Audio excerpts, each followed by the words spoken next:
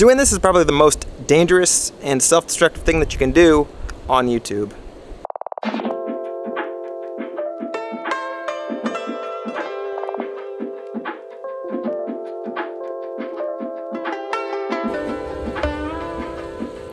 I hope I hope this doesn't come off as insensitive or, or, or, whatever. I think Savannah and I have established that we're not going to order room service any anymore. They have a breakfast buffet at this resort that's like a, a two minute walk that way.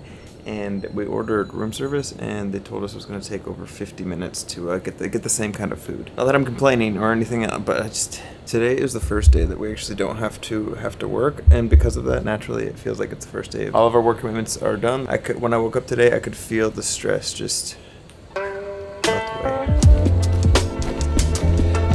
update, we I ordered the food at 7:45. It's currently 9:06 and it hasn't come. We're going to the we're going to the buffet now.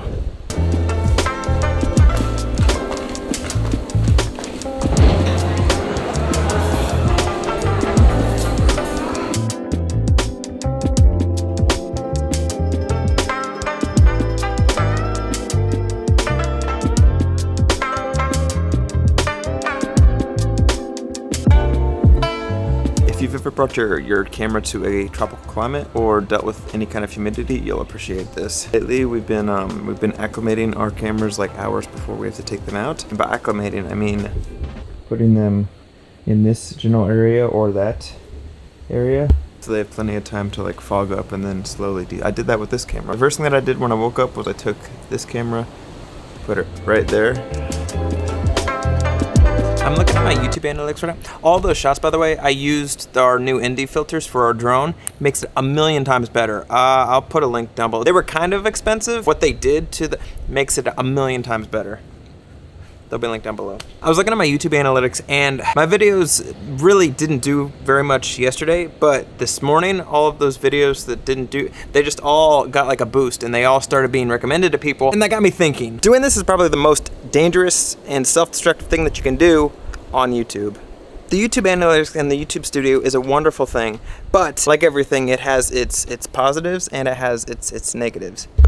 And for me, whenever I whenever I obsess over the numbers that YouTube is currently giving me, that's when I start to really second guess myself and that's where I become less happy when I make videos. But the second that I forget about that stuff, magically one, my videos do better, and two, uh, when you're not ruled and dominated by those numbers and every decision isn't influenced by those numbers, there's a certain freedom that comes with that and I think that you can enjoy and really use YouTube for what it was intended for, I believe.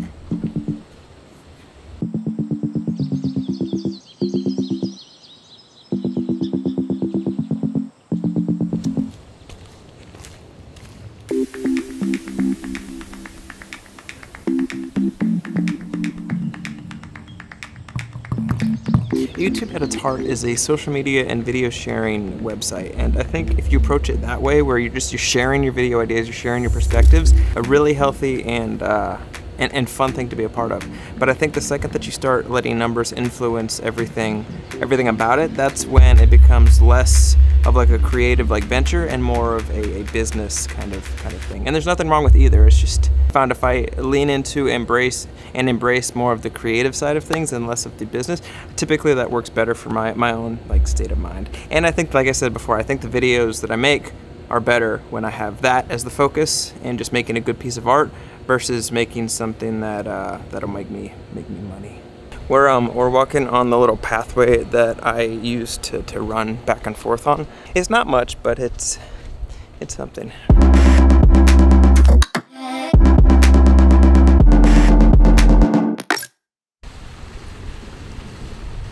This isn't this isn't our resort. We snuck into another resort because we like this one better, but uh, we didn't pay for this one, or the people that paid for our room didn't pay for this one. So uh, that about right?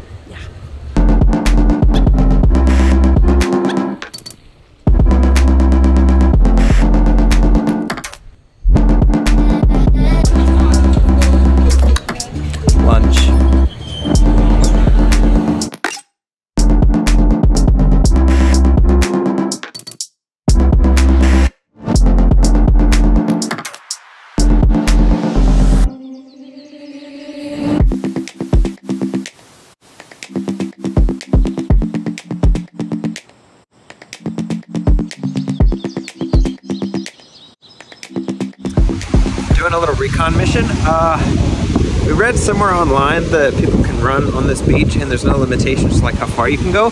I was under the impression that there was a certain point where there's a security guard because that's what's always been there. Uh, so we're, we're testing that theory out right now with a walk, right? So I apologize in advance for the wind noise. I'm shooting this all on my iPhone, so with my big camera, camera Do you see that sign right there? That's the uh, that's the edge of where I thought I could go, and there's no security guard there. All right, I uh, I think it worked. If you see a clip of me getting drug off uh, to, to like jail or something, then obviously it didn't work. But for now, it worked.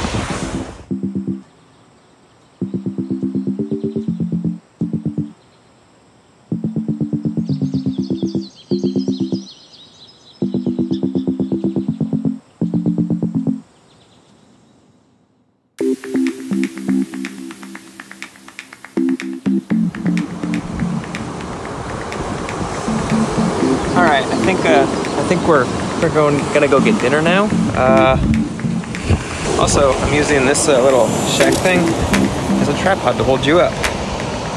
You ready?